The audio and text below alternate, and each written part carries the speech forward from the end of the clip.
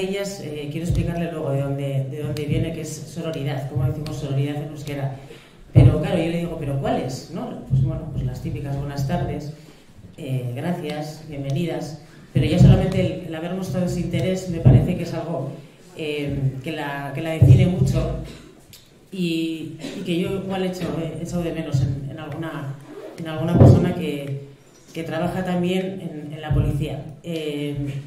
Lo, no lo digo con, o sea, lo digo con, con, una crítica, porque yo hace unos años, si me invitan a, presentar esta conferencia, probablemente eh, no hubiese venido. Ahora mucho ruido, vale. Bueno, eh, hace unos años hubiese pensado que se censuraba lo que estaba diciendo, pero no. Hace unos años para mí esto hubiese sido un reto mucho mayor que el que es ahora, que lo es. Y, creo que es porque evolucionamos, la sociedad evoluciona y lo mismo que hoy estoy aquí, hace un, mes estaba presentando una conferencia de tres mujeres torturadas eh, organizada por el Foro Social y creo que eso es reflejo también de la labor que estamos haciendo en esta sociedad en la reconciliación, en, el relato y creo que es importante. Y, que la compañera que tengo al lado, compañera feminista, con la que comparto también eh, ser boyera, Comparto también que la policía probablemente en algunos momentos nos lo ha hecho pasar mal. Para mí que ella pueda dedicarse a dar conferencias porque está en excelencia voluntaria por lo que ha vivido en la policía, me parece que es durísimo.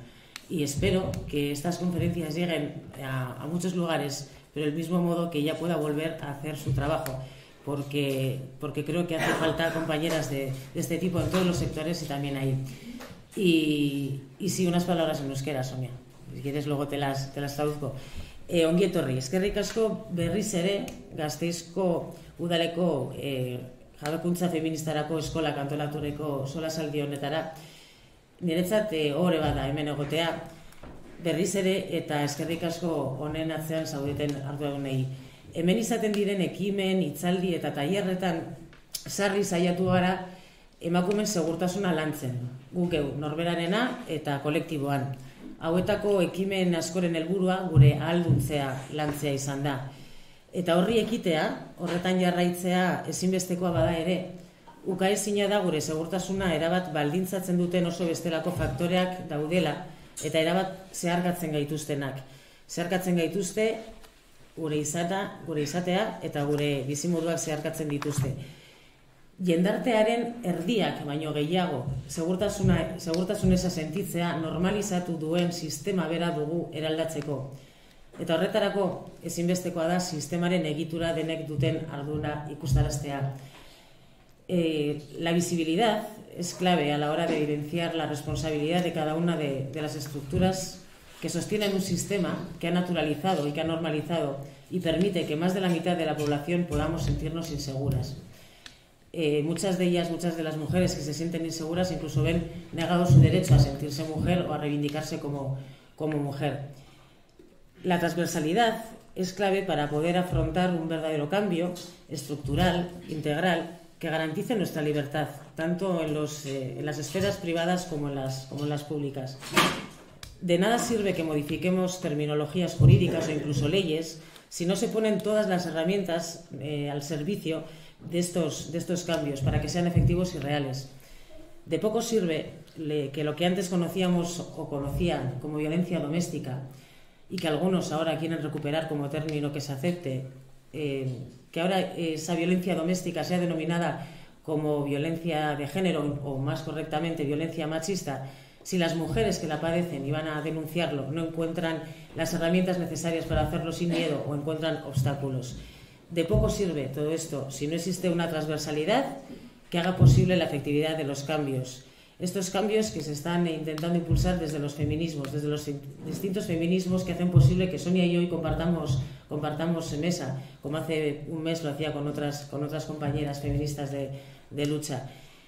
Lo que sufrimos las mujeres, lo que padecen muchas mujeres, es una sistemática vulneración de los derechos humanos y necesitamos que las estructuras del sistema estén para ayudarlas y para, para, hacer el camino y para que puedan salir de ellas. Así que hablaremos de lo que carece el sistema, de qué cambios tenemos que dar y también de lo que están aportando las, las mujeres feministas a, a, las que sufren esa violencia de género. Eh, es un placer, Sonia. He dicho policía, en excedencia, voluntaria, eh, por motivos que tú si quieres explicarás. Eh, en estos momentos también concejala en, en, Palma de, Justicia Social, Feminismo y LGTBI, peleona, eh, pedagoga, escritora, das conferencias y, quisieras llegar mucho más, más lejos, nos has dicho antes a un pueblecito pequeño de Burgos, pues bueno, para nosotros que muchas veces nos han considerado una pequeña ciudad, es un placer tenerte aquí. Arracha el León, buena tarde. Muchas gracias. Muchísimas gracias, el placer es mío. Eh, León, es que ricasco, ongi otorri, aspatasuna.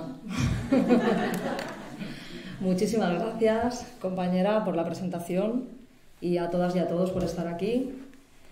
Bueno, eh, en primer lugar decir que lo que decías en referencia a volver a, la policía, hoy justo además me hacían una entrevista porque voy a presentar el libro en Ibiza y me decían, bueno, ¿y vas a volver? Y le digo, no, y digo, me moriré policía, porque es que es un poco difícil de explicar, pero yo me siento policía de, de vocación, ¿no?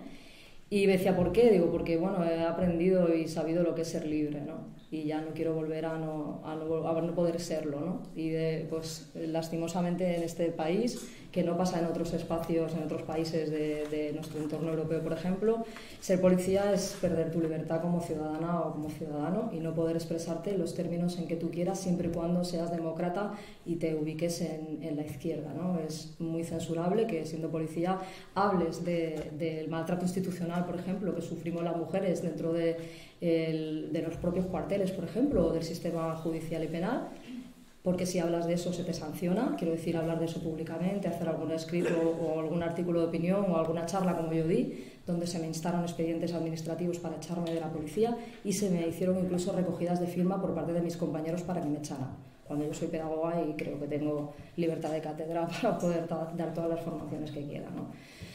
Bueno, pues tenemos... Eh, como digo, una policía que tiene que mejorar mucho, muchísimo, y que hay que señalar todo lo que hace mal, que son muchas cosas, sobre todo en el tema de género, porque bueno, en España tenemos un, problema que no solamente es el ejercicio del poder, que ya es complicado, ¿no? Tener gente ahí que de alguna manera pues tiene una presunción de veracidad a su palabra y en lugar de ver eso como un compromiso y como algo que te cae encima ¿no? y que es como una gran responsabilidad, eso se interpreta como, como una situación de poder con la que tú puedes eh, pues pisar al otro. ¿no? Y muchas veces eso sucede, no siempre, pero pasa muchas veces, sino que además también tiene una connotación ideológica. No podemos olvidar el pasado reciente de nuestro país y la enorme mochila que, tienen las policías aún con, con, la gestión de la propia diversidad y, y, la enorme carga política que hay dentro de la propia institución, ¿no? de la cual pues yo como, como boyera visible ¿no? en su momento pues padecí durante 11 años, tengo una sentencia de cinco jueces que me dieron la razón en su momento y tres policías entraron en la cárcel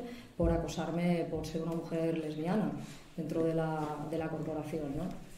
Eso es grave, que tú seas una mujer lesbiana y seas acosada por parte de tus compañeros policías, es grave y es serio, pero es más grave y más serio que muchos de tus compañeros y tus compañeras entiendan que los trapos sucios se lavan en casa, que la que lo está haciendo mal eres tú porque estás denunciando y la frase fue, aunque sean unos hijos de, mm, son nuestros hijos de. Mm". Esa frase yo la escuché como un mantra durante muchos años que duró el proceso penal.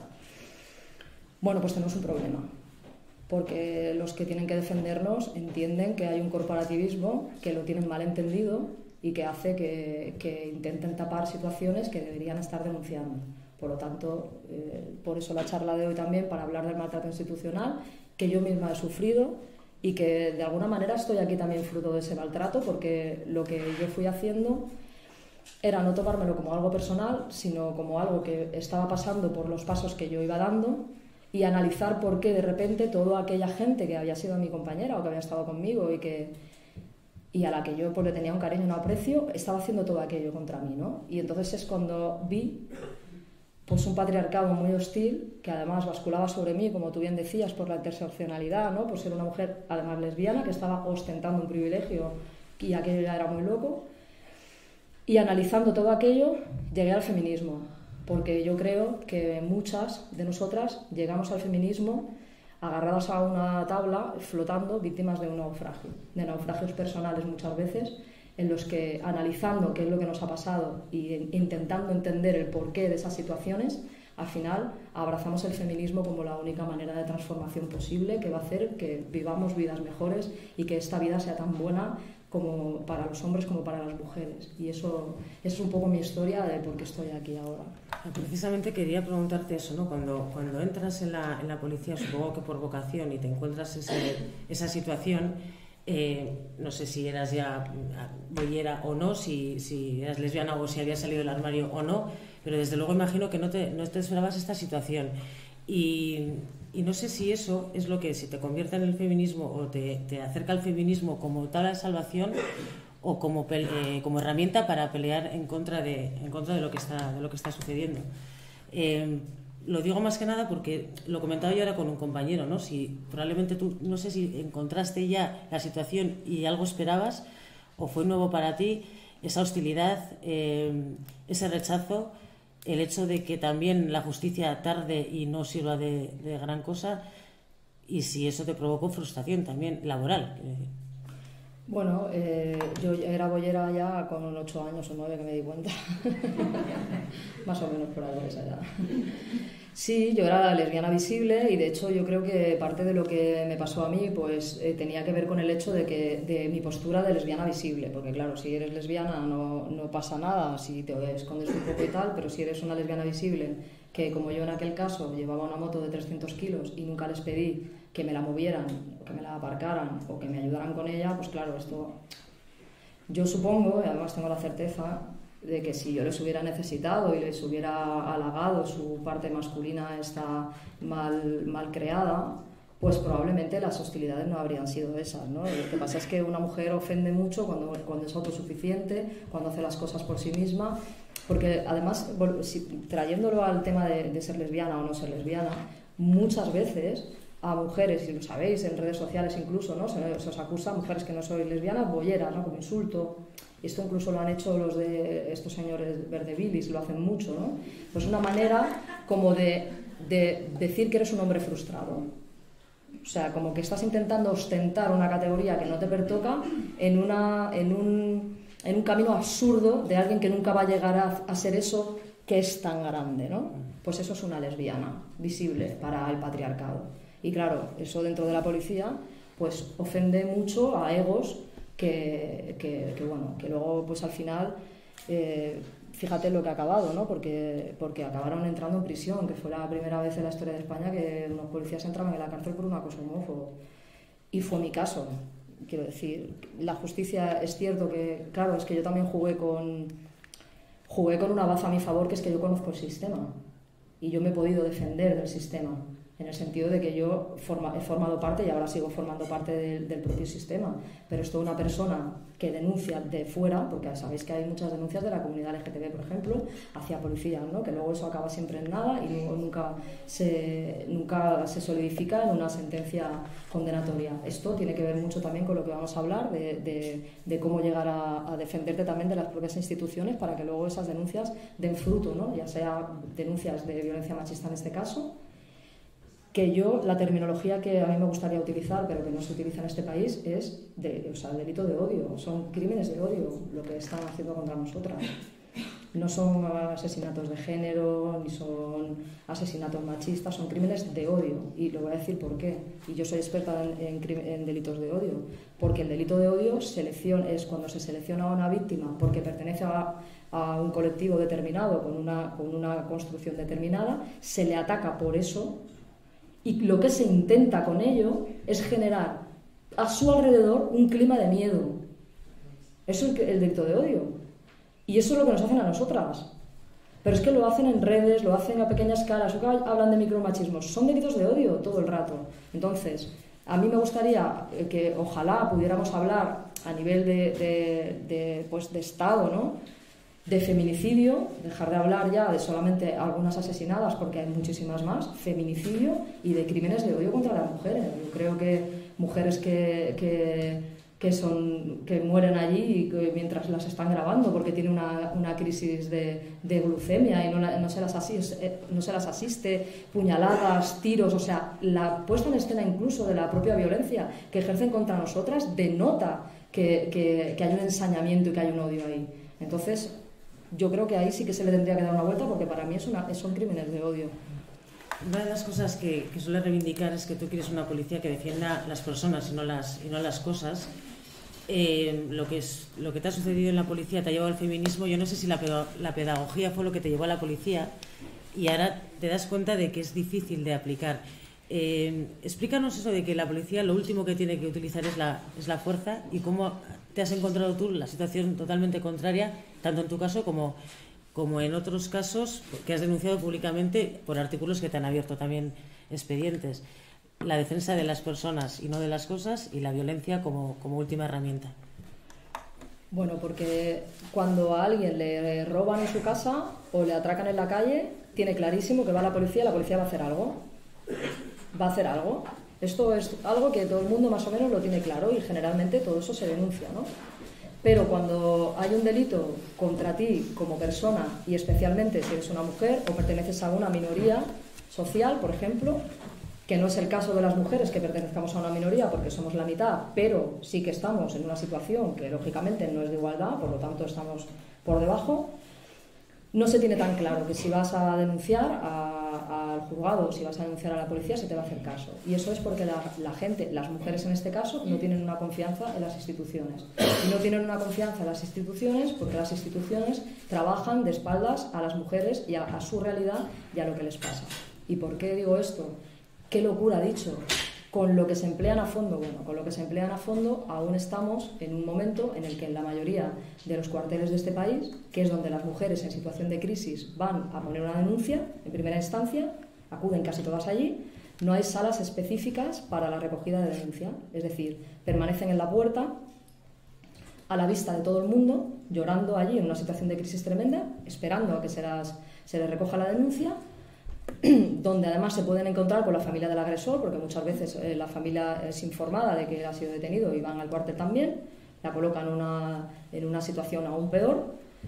Y cuando se le recoge la denuncia, y yo, a mí me ha pasado, esto no lo cuento yo porque lo haya oído, está escuchando al agresor gritar desde el calabozo, que está en el piso de abajo. O sea, imaginaos, la persona, pues estamos hablando de delitos eh, de violencia de género, ¿vale? Que es lo que tú recoges en el cuartel.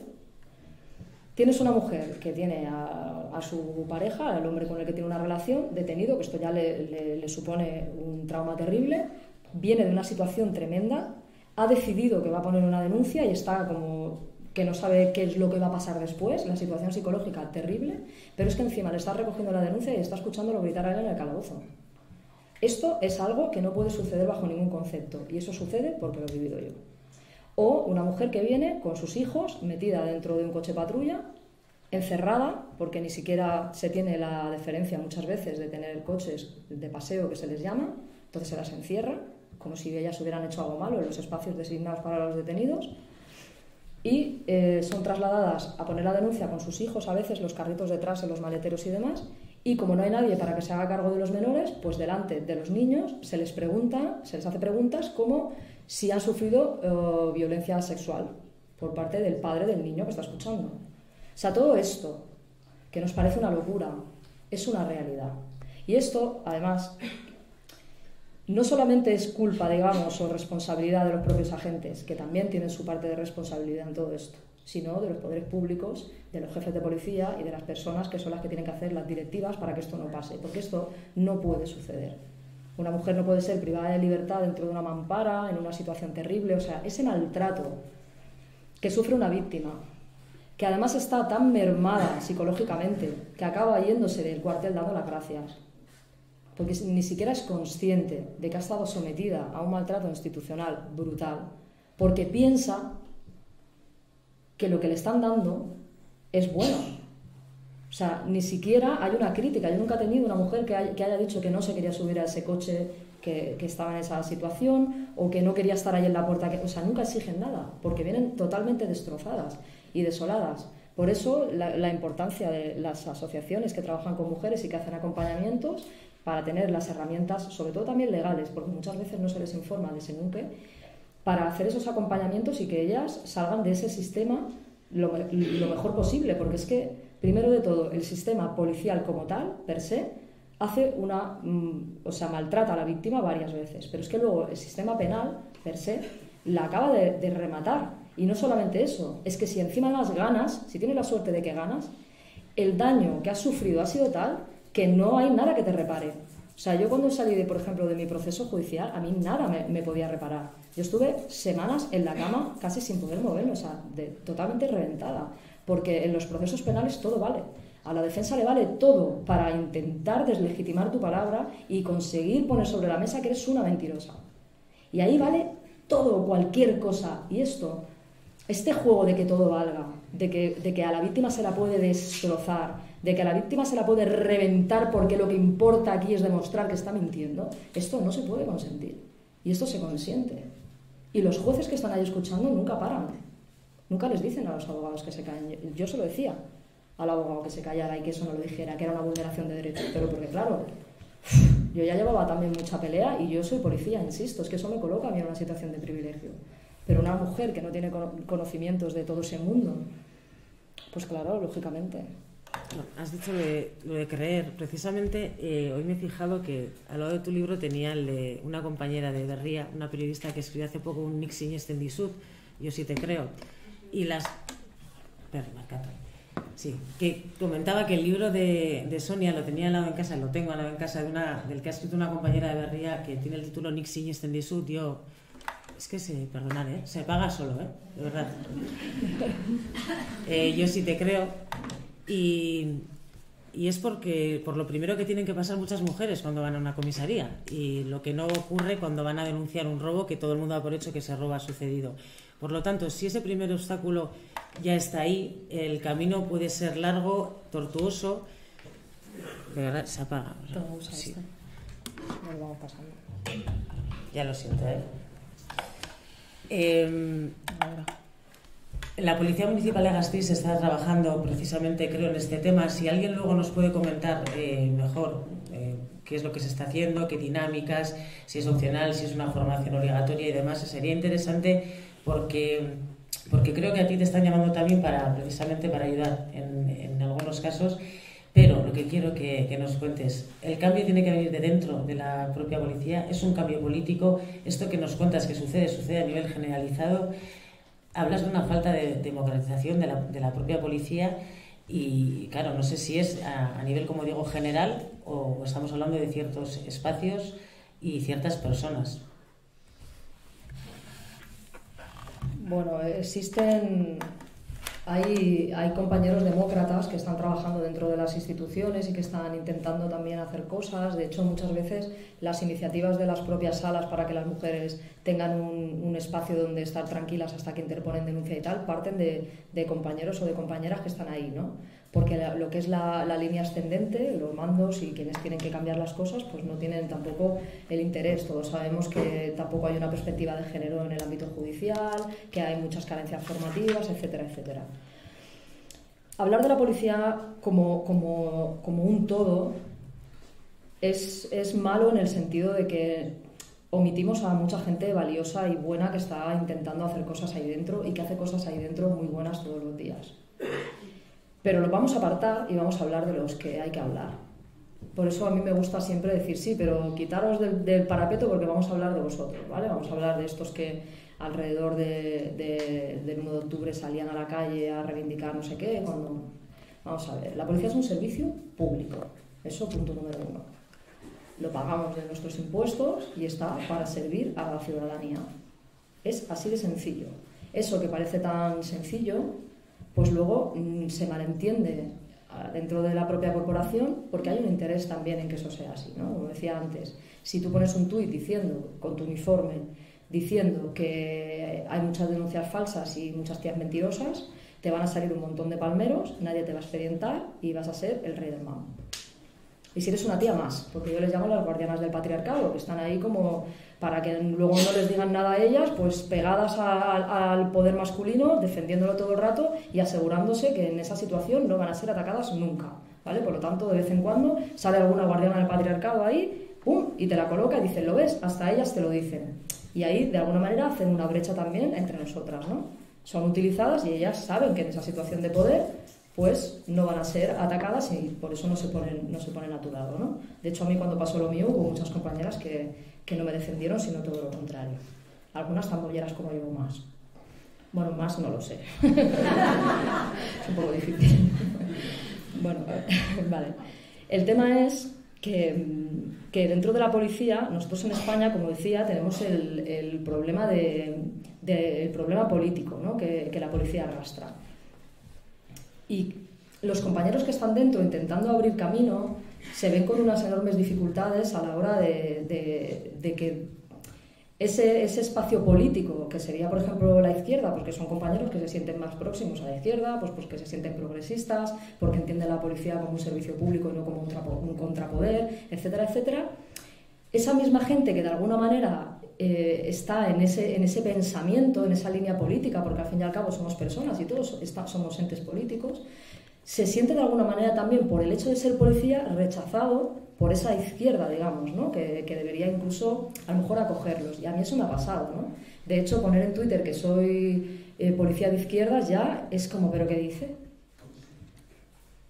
Pues claro que sí, si es que, a ver, no quiero hacer un alegato político, pero es que tuvimos uh, aquí, hubo afortunadamente muchos compañeros, que en aquel momento no, no, había compañeras, muchos compañeros que se opusieron al golpe de Estado del dictador y que duermen en cunetas por defender la democracia de este país. Y esa gente la tenemos que reivindicar desde la izquierda, porque esa gente es nuestra. Y esa gente dio la cara y puso el cuerpo para, para intentar que aquí no hubiera los 40 años de oscurantismo eh, declarado que, que, hemos tenido. ¿no? Entonces, claro que hay mucha gente buena dentro de la policía que está intentando hacer muchas cosas. A mí me mandan muchos mensajes, sobre todo muchas chicas, y me preguntan que están opositando y me preguntan que cómo lo van a hacer, que cómo lo pueden hacer, que qué se van a encontrar allí dentro, que tienen miedo, porque en realidad también ven lo que hay. Pero bueno, yo siempre las animo y les digo que es que hace mucha falta. Y hace mucha falta porque cuando vas a una casa que están los marcos de la puerta arrancados, las puertas llenas de boquetes de dar puñetazos, y tienes un niño ahí al fondo llorando aterrorizado y una mujer que no sabe qué hacer, eso es la policía. Tiene una cara B la policía que es muy desagradable, y eso es verdad. Pero es que la policía está para eso. Y en ese momento, lo que tú le digas a esa mujer o lo que tú le digas a ese niño lo va a recordar toda la vida. Y ese papel de la, de la, policía, que es fundamental, es el papel del que yo me he enamorado y del que yo nunca me voy a desenamorar. Y por eso yo la defiendo tanto, aunque también la ataco.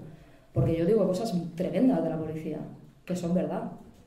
Pero también la defiendo porque entiendo que es un servicio público, que lo necesitamos y que esa gente que está abriendo camino y que está resistiendo ahí dentro necesita también sentir que fuera hay gente que cree en ellos. Porque a mí me ha pasado que sentir que de alguna manera, porque eres policía, no se te abren espacios feministas, por ejemplo, ¿no? Es como va a ser una tía policía feminista si es un madero que tal. Lo entiendo, es difícil de entender, pero existe, estoy aquí, hola, compañeras y compañeros. Hay otras que no lo hacen porque están en activo y están, y a mí me llaman y me consultan cosas y están dentro, pues muchas de ellas ya muy cansadas también, ¿no? Porque siempre estar luchando contra todo lo que se dice, porque imaginaos lo que es un cuartel, ¿no? Los comentarios que hay en un cuartel, con, donde el 90% son hombres o el 85% son hombres armados, que piensan además que ser policía, y, y, hablamos ahora de lo del ejercicio de la fuerza, que ser policía es el ejercicio de la fuerza y el poder, cuando en realidad a nivel de estadísticas el ejercicio de la fuerza es de un 85%, 90% mediaciones. O sea, se usa la fuerza un 10%, 9%, 8%, algo así. Y yo he estado 14 años en unidades operativas de noche. ¿eh? El ejercicio de la fuerza es un ejercicio que es muy residual, no se suele usar la fuerza. Los servicios cotidianos que hay no, no requieren eso.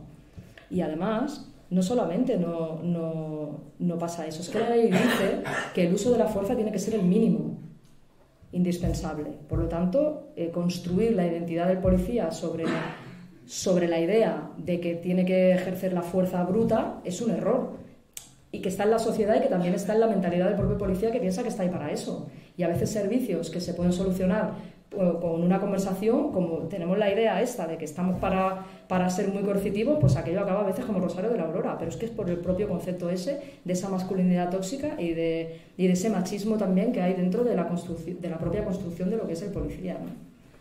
Precisamente eh, has mencionado antes, a ver si aguanta, has mencionado antes un momento quienes eh, están en las calles con algunos mensajes, bueno, con algunos mensajes, y, a mí me preocupa porque son precisamente los que están eh, saliendo en defensa a ultranza de la policía y, lo que puede suceder es que se desgaste más aún esa, esa imagen, que desde la izquierda no haya una defensa de ese servicio público y que por lo tanto se identifique claramente a la policía con la ultraderecha, que es lo que está sucediendo. Por eso te preguntaba, desde el ámbito político, ahora tú que estás en un ayuntamiento, ¿qué herramientas se pueden poner para, para que eso eh, empiece a, cambiar o para que no sucedan ciertas cosas que han hecho, por ejemplo, que tú estés en excedencia voluntaria? Bueno, eh, que la ultra, ultra, hiper, mega derecha está echada al monte y sus compillogis reivindiquen la policía es algo que ha ocurrido en este país desde siempre. Y lo hacen porque, porque bueno, pues porque forman, son, esa, son los, que, los que defienden esa policía que es restrictiva, esa policía que, que obedece sin atender a nada más y esa policía que vive en un privilegio y sabemos lo que es la pérdida de privilegios. La pérdida de privilegios pues es algo muy complicado, nadie los quiere perder.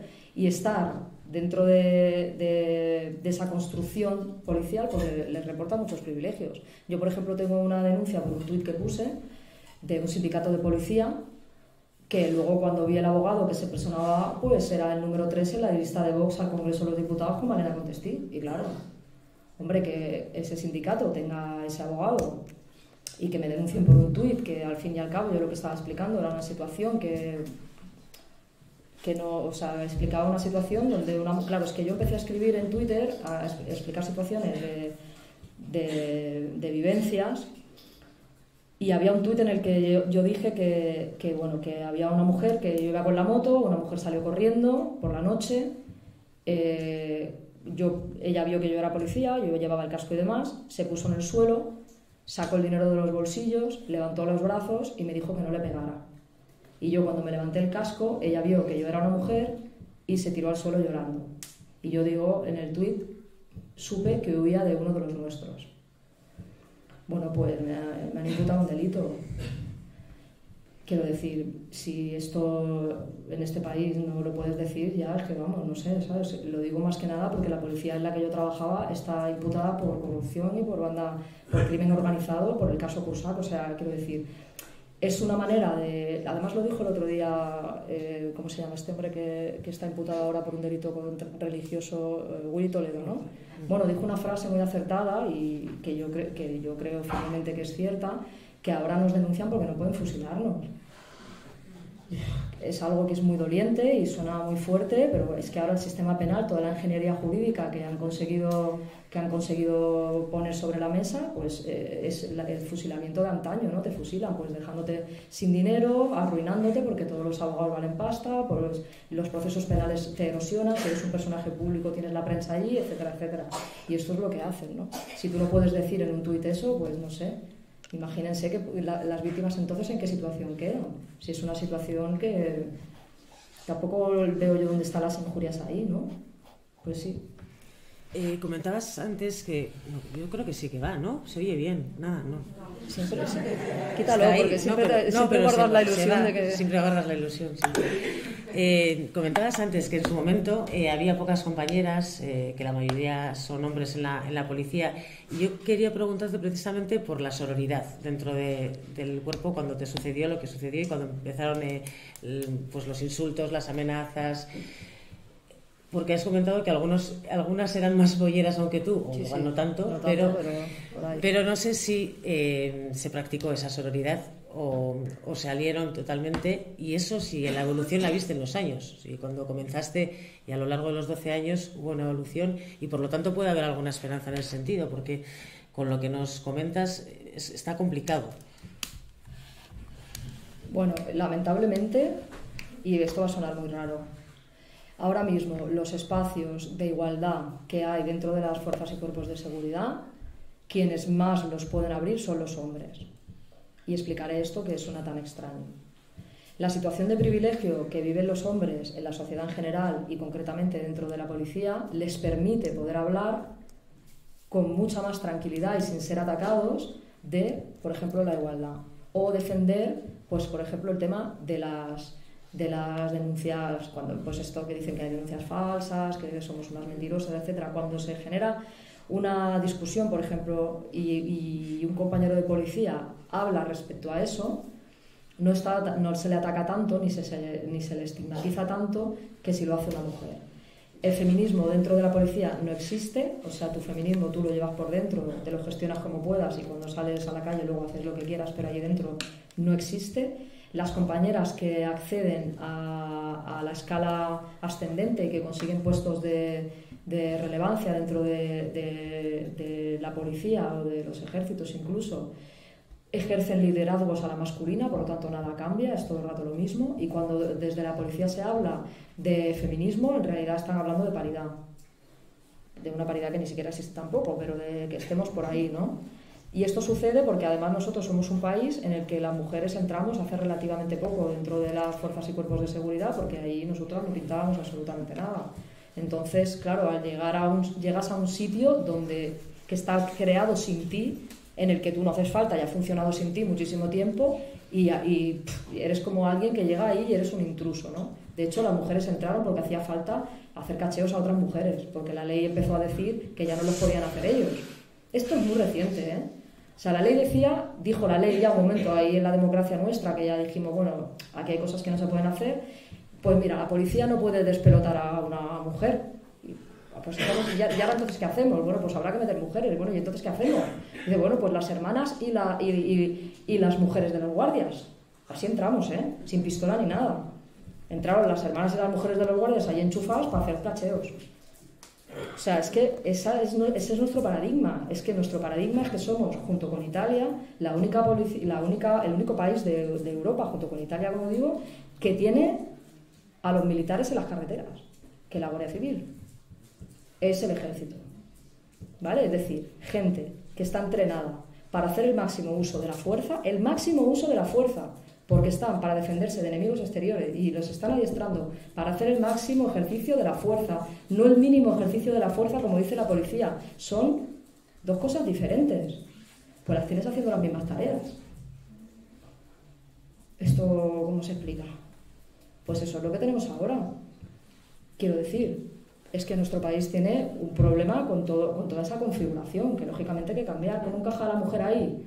Pues encaja mal. ¿Y cómo encajan las mujeres víctimas que, que llegan a esos espacios? Bueno, se están creando unidades que están trabajando muy bien, pero luego las unidades son eso, unidades pequeñas, no pueden absorber a todas las víctimas y por lo tanto las mujeres acaban llegando al sistema policial y muchísimas veces, la mayoría de las veces, le recoge una denuncia a cualquiera Cualquiera me refiero, cualquiera es información específica en, atender a una mujer que llega con una crisis emocional gravísima y que además mm, a lo mejor incluso ni siquiera tiene interés, ¿no? O sea, ¿qué hay que hacer? Pues formarles que en todas las, que en todas las formaciones para acceder a los cuerpos policiales pues haya una formación específica en género, pero no solo una formación de que estudien cuatro temas, no, no, es que tiene que haber una sensibilización también, es que eso tiene que ser un requisito sine qua non. Es que, por ejemplo, y volviendo al tema de la interseccionalidad, por ejemplo, con la, con la comunidad LGTB pasa lo mismo, las personas LGTB no quieren ir a denunciar a los cuarteles, no suelen ir, y luego ¿qué pasa? Dice, bueno, delitos de odio hay pocos, la verdad es que no se denuncian mucho, no hay mucha cosa,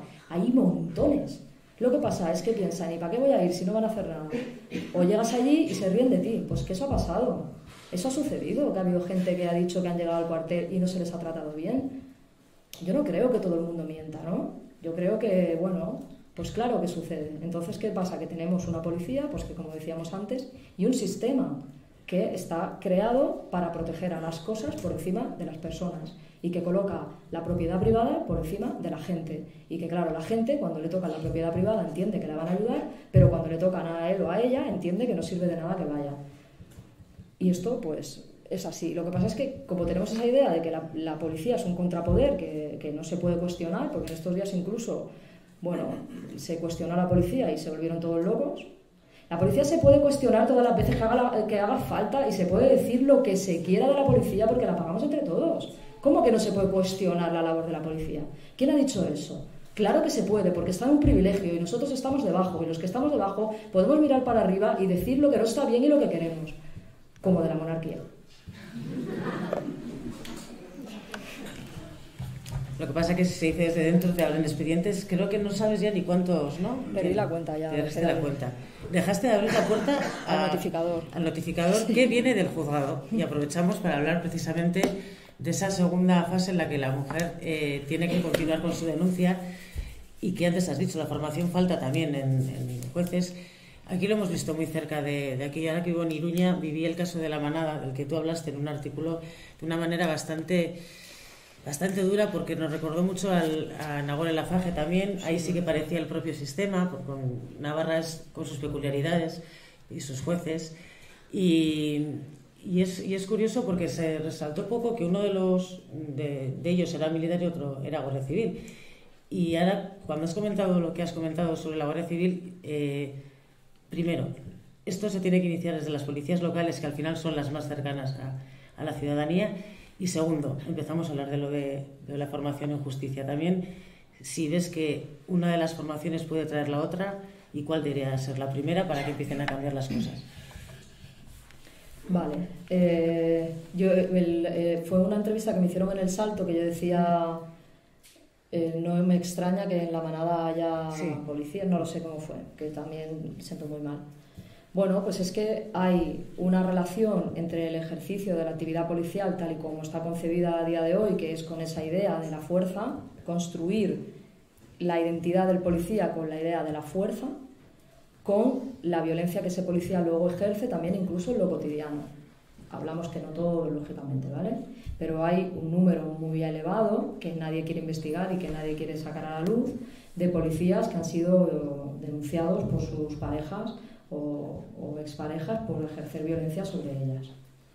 Sucede además que eh, muchas veces, y yo eso lo he visto, como esos policías se les retira el arma de fuego porque no pueden estar en la calle, pues sabes que enseguida que hay una denuncia de violencia de género se retiran las armas. Pues se quedan en el cuartel porque no pueden, en, nuestro país un policía no puede, al menos ahí en Baleares, un policía no puede, no puede patrullar si no tiene un arma de fuego. ¿no? Bueno, pues se, han dado muchos casos de que de esos policías que están denunciados por, agresiones machistas acaban recogiendo denuncias a las víctimas. Esto es una cosa que sucede. Claro, eso es insólito, pero pasa. ¿Y por qué pasa? Pasa por la presunción de inocencia. Porque, por lo visto, la presunción de inocencia en el caso de las mujeres víctimas siempre se cuestiona. Es decir, se entiende que prevalece la presunción de inocencia, que es verdad que es inocente hasta que se demuestre lo contrario, pero tan inocente es hasta que se demuestre lo contrario como ella víctima. Es que el punto de salida no es ella es una mentirosa y él es inocente y ella lo tiene que demostrar porque ella miente. No, no, no. El punto de salida no es eso. Además está el estatuto de la víctima, etcétera, legislación que no se respeta porque se vulnera constantemente, pero existe y está ahí. El punto de partida es inocente hasta que se demuestre lo contrario, pero pesa una investigación que se tiene que esclarecer qué ha pasado y esta señora es una víctima. Bueno, pues en el caso de las violencias, que ahora hay como un poco más de sensibilidad al respecto, eh, más o menos se, entiende ya eh, judicialmente que, ella es inocente, aunque socialmente, o sea, que ella, que ella dice la verdad, aunque socialmente luego se la cuestiona. Pero en el caso de los delitos sexuales se ve claramente, claramente que ella es una mentirosa o sea, en, los delitos relacionados con la, con la, violencia, después del trabajo que se ha hecho y del movimiento feminista, que ha hecho una labor enorme y que además lleva mucho, mucho más tiempo visibilizándose lo que es la violencia contra la mujer que la propia agresión sexual o la propia violación, porque por, por vergüenza no se denunciaba tanto, lo que hace es que eh, hayamos avanzado en el tema de la violencia, en el sentido de que se entiende que la mujer es víctima y se la suele tratar incluso mejor, que ya se le trata mal, que ha, que ha denunciado una agresión sexual. O sea, la que ha denunciado una agresión sexual y llega al sistema, desde el minuto uno es cuestionada. Yo he visto, y además lo puse en un tuit también, porque a mí me gusta mucho Twitter, un caso de una mujer que salía, me acuerdo además perfectamente, que salía de un hotel de trabajar de noche, eran las once y pico de la noche, en una zona bastante apartada, y además eh, allí en invierno, pues la temporada baja, no hay nadie en la calle, etcétera y me dieron una felicitación de alcaldía por ese, porque detuvimos al agresor y pensaban que no era él. Me empeñé yo que sí. Y al final en la rueda de reconocimiento fue. Pero el tema es que, que bueno, está, en, este caso, en esta situación concreta, pues eh, la mujer eh, fue, fue cuestionada ¿no? por los compañeros que le dijeron que porque a aquella hora su marido no la había de buscar.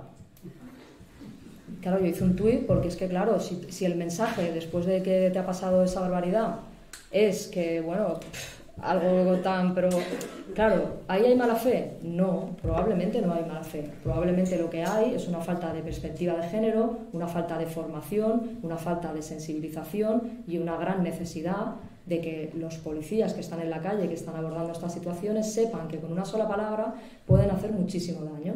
Como por ejemplo los policías tutores que están en los colegios, ¿no? que están, que están en, primera línea, imaginaos lo que sería para un policía que no lo hace con ninguna mala fe, no tiene ninguna mala fe de hacerlo. Ya, imagínense cuando sí existe esa mala fe. Que viene una niña a contarle, por ejemplo, que, pues que, que está siendo abusada a lo mejor por un familiar, porque estas cosas a veces con la proximidad de, las policías locales, ¿no? que están en, en contacto con la gente, pasa que una niña pueda venir a contarte esto y el policía le diga, pero ¿estás segura? Mira que lo que me estás contando es muy grave, ¿eh? De verdad, Solo eso es devastador. Solo eso es devastador. Es que es súper importante que haya una formación y una sensibilización. Aunque le tengamos un poco de inquina o de rabia a la policía en el sentido de que el papel ese tan feo que tiene, esa connotación que tiene en la sociedad para nosotros también, en el sentido de que hace muchas cosas que no nos gustan, que de alguna manera la derecha y la ultraderecha la está constantemente reivindicando y eso hace que nos alejemos mucho más de ella aún. Todo eso tenemos que intentar romperlo porque la policía la necesitamos y la necesitamos con nosotros. Y la necesitamos con nosotras. Y nosotras necesitamos llegar a los cuarteles y encontrarnos compañeros allí que sean receptivos, compañeros allí que estén pendientes de la situación, que sepan que la mujer no puede estar en la puerta a la vista de todo el mundo y que empiecen también a poder trabajar y a poder generar esos espacios de cambio desde dentro. Aunque insisto que el cambio tiene que venir de arriba y tiene que venir de lo político porque es muy importante. Además, la policía obedece muy bien. Si le dicen que una mujer, por orden, por escrito, no puede entrar allí dentro de una mampara, lo van a hacer siempre. ¿Vale? Pero eso no es todo. Eso hay que cambiarlo también, porque eso sucede constantemente, pero no es todo.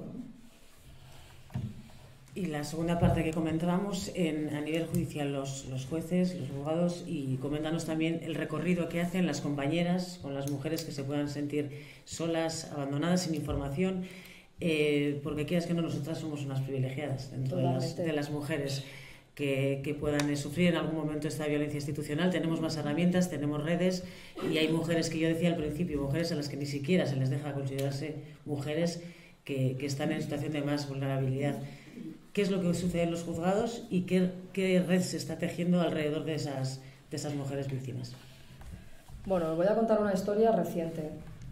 Hace poco eh, montamos una formación allí en, el centro que gestiono yo ahora y le pregunté a mis técnicos a qué persona podíamos poner para que acompañara en la mesa, ¿no? porque vinieron unas activistas y quién era la persona. Y los técnicos no se les ocurrió otra cosa que la brillante idea de invitar al jefe de los jueces de la audiencia de allí de Palma. Bueno, la verdad, yo que me quería morir, ¿eh? Yo me quería morir y al, final la acabé liando un poco, ¿vale? Porque al final salió una portada al día siguiente que fue horroroso, lo pasé muy mal, porque, o sea, es que fue ese señor que es el presidente de la audiencia de Palma, es, es decir, ese señor que ahora mismo está llevando violencia de género en la audiencia, en un tribunal superior, ¿vale? Bueno, pues estábamos en la mesa y empezó a decir que él había visto mujeres que habían señalado a hombres que no eran, que había hombres que habían entrado en la, así, así, que habían entrado en la cárcel por errores de que ellas habían dicho cosas que no eran y tal, y empezó a hablar de denuncias falsas y claro, yo empecé a mirar a mi equipo en plan, bueno, ¿qué, qué, qué es esto? ¿no? Y claro, ¿qué pasó? Pues que, que, le dije lo que opinaba y entramos un poco en una pequeña discusión y demás, ¿no? Empezaron las compañeras a levantarse y a irse antes de que yo interviniese para cortarle y él se enfadó mucho y fijaos cómo es la cosa, que en el Ayuntamiento de Palma la inversión que hago yo ahora, porque pues, es mi responsabilidad y demás, ¿no? es una inversión que casi duplica la inversión que se hace a nivel de toda la isla, solamente en Palma, ¿eh? en violencia de género. Bueno, pues este señor ha montado una mesa de trabajo con todas las instituciones, excepto conmigo. Pues es un honor para mí que no me inviten a sus reuniones. Más que, más que nada porque si se piensa que, que, porque se le cuestione, como es un juez que ha sido cuestionado las, dónde quedan para él las víctimas, qué le importan a él las víctimas. Si la persona que está gestionando ahora mismo en Palma el mayor eh, capital para darles a las víctimas mejores espacios, la persona que ha dado un 30% más en el último año a las víctimas de violencia machista en la ciudad, la omite porque en una conferencia le dijo que no estaba de acuerdo, pues gracias, pero no hace falta que me, me invite a las reuniones porque van a ser de poco provecho y yo tengo muchas cosas que hacer. Claro, pero eso se puede permitir, es decir, eh, se le puede excluir a una persona que tiene ese cargo y de esa responsabilidad a una política institución, a una institución, que es el ayuntamiento. ¿Se puede permitir? Pues se lo ha permitido. ¿eh? Claro, yo no sé si esto sucedería en, eh, si fuera otro ámbito. eso es el símil del aparato judicial. ¿eh? Es que eso refleja la soberbia, la soberbia de muchos jueces de este país. Y eso es un problema muy grave, porque la respuesta de él, que la respuesta podía haber sido no decirnos nada. La respuesta podía haber sido haber tomado un café un día. O sea, se podía haber gestionado luego de muchas maneras, porque tampoco fue tan grave. La respuesta es yo soy el sistema, la violencia de género es mía, la gestiono como yo quiero y tú que me has cuestionado y me has dejado mal, te quedas fuera. No, no, si no me estás dejando fuera a mí, estás dejando fuera a todas las mujeres que están en el servicio de atención a la violencia de género que yo gestiono, porque yo no me voy a enterar de que se hablan esas reuniones. Estás dejando fuera al SABIG, que es donde vienen todas las víctimas a ser reparadas porque se les da ayuda psicológica y se hacen talleres con ellas y con sus hijos. Estás dejando fuera a un ayuntamiento. ¿Cómo se traduce eso? ¿Eso es el sistema judicial? Un sistema que no admite una crítica, un sistema que es ordeno y mando. Un sistema que dice lo que está bien, lo que está mal y que no admite que nadie le diga nada.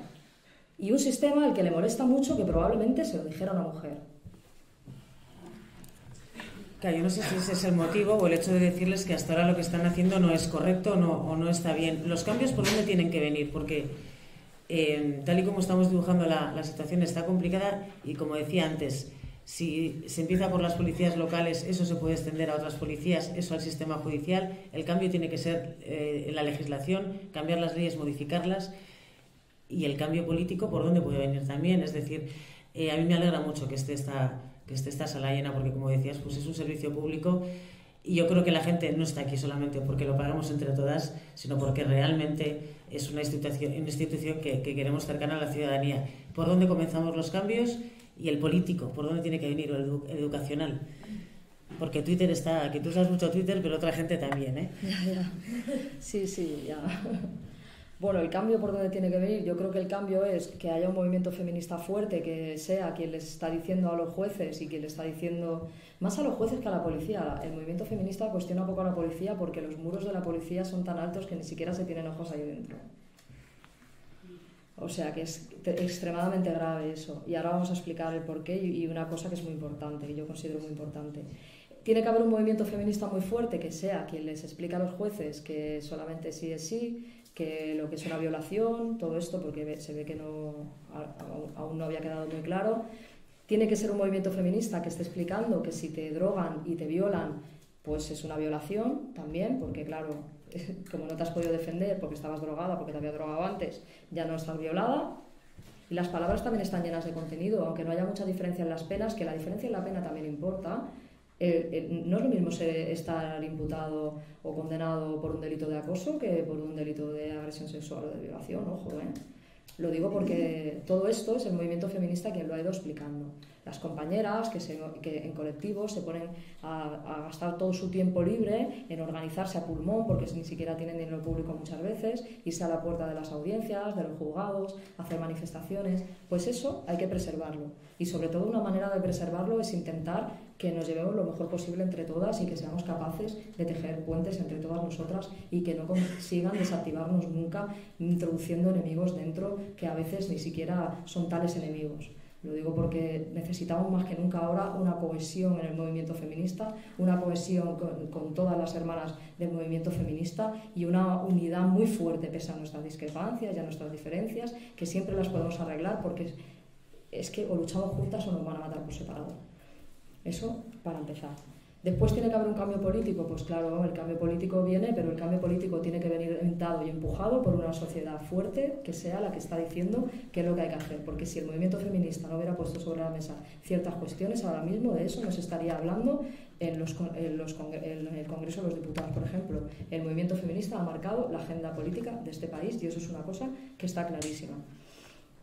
Y después, pues inversión, hace falta mucho dinero. Invertir para que los jueces y los fiscales estén bien formados en género, por ejemplo, para que la policía también tenga sus cursos y sus formaciones y sus reciclajes, cosas que ahora mismo no existen en, las formaciones. Es que no hay, no tienen ni idea la mayoría de ellos. Y es una pena, porque muchas veces los que tienen inquietud se lo tienen que pagar de su propio bolsillo, ¿no? Y eso es, eh, es bastante, bastante lamentable. Hace falta, pues eso, entender que sobre todo también intentar cambiar un poco, eh, eh, darnos cuenta de cómo nos tienen entretenidas. Por ejemplo, ¿no? cuando han visto que el movimiento feminista era una transformación de verdad, que los compañeros estaban sumando también, ¿no? por eso los insultan tanto a ellos, ¿no? le llaman plancha braga, les insultan, les dicen para hacerlos de menos. ¿Por qué hacen eso? Porque saben que la verdadera transformación es que lo hagamos todos juntos. Y cuando los compañeros empezaron a decir, venga, vosotras delante, que nosotros vamos detrás, se empezaron a poner muy nerviosos. Eso ha sido revelador. Estos últimos años han sido reveladores. ¿Y qué están haciendo? Intentar desmontarlo, intentar cargárselo, intentar destruirlo. ¿Y cómo? Generando discordia dentro. Y nosotros a veces no nos damos cuenta. Hemos estado también peleando. Ahora mismo los verde bilis están diciendo que la violencia de género no existe, la violencia doméstica no existe, la violencia eh, ¿cómo le llaman ellos? Violencia doméstica le llaman, ¿no? O, Intrafamiliar. Sí, bueno, esto, que estas cosas que la violencia contra nosotras que no existe, que es todo violencia y nada más, y que la violencia no tiene género y demás. Y se puso en duda, la, la o sea, empezamos todas a luchar por una ley que ya tenía que ser cambiada. O sea, nos agarramos todas a la ley de, violencia de género allí, siguiéndoles el rollo, cuando era una ley que no daba igual. Es una ley que solamente habla de unas cuantas. Es una ley que no tiene en cuenta a Nagore Fage porque no tiene una relación sentimental con aquel chico. Y ella fue víctima de violencia machista porque fue escogida, seleccionada y sufrió violencias concretas por el hecho de ser mujer. Eso no está reflejado a día de hoy en ninguna, legislación. Y eso, a esa ausencia de todo eso, a esas pocas que solamente se las nombra, que son un porcentaje, que no son todas, estamos allí todas luchando por una ley, porque lo han dicho estos memos, no, no, es que esa ley pues no la queremos. Queremos una ley que la recoja a todas, porque si yo como mujer lesbiana soy escogida para ejercer sobre mí violencias concretas por el hecho de ser mujer, no estoy, eh, eh, no estoy protegida por ninguna ley. Y no lo digo porque sea yo, pero es que ya las, las mujeres transexuales ya no te digo dónde quedan. O sea, eso ya es que vamos, una cosa inexistente. Y son mujeres que están sufriendo violencias concretas por el hecho de ser mujer, que además incluso son violencias agravadas. Y que tu vecino te acose, te pique la puerta a las 4 de la mañana. Porque tiene ganas de entrar a tu casa. Eso no es tampoco violencia, o sea, no está contemplado, no se cuenta. Y es, el número es infinito. ¿Y sabéis por qué no se cuenta? Porque los números no son números de guerra, son números de pandemia. Son números de pandemia. Si juntamos los números de, las niñas abusadas en el seno de sus familias, de las niñas abusadas en el seno de la iglesia, de las niñas abusadas eh, abusadas en el seno de las escuelas, de las mujeres que sufren violencias en sus casas, de las mujeres que sufren violencia por sus hijos, de las mujeres que sufren violencia por hombres que no conocen de nada. ¿Sabéis el número? Si seguramente todas las que estamos aquí hemos sufrido algún tipo de violencia alguna vez, cuando no muchas. Es que nos pasa a todas. Nos pasa a todas. El número es todas. A todas nos ha pasado.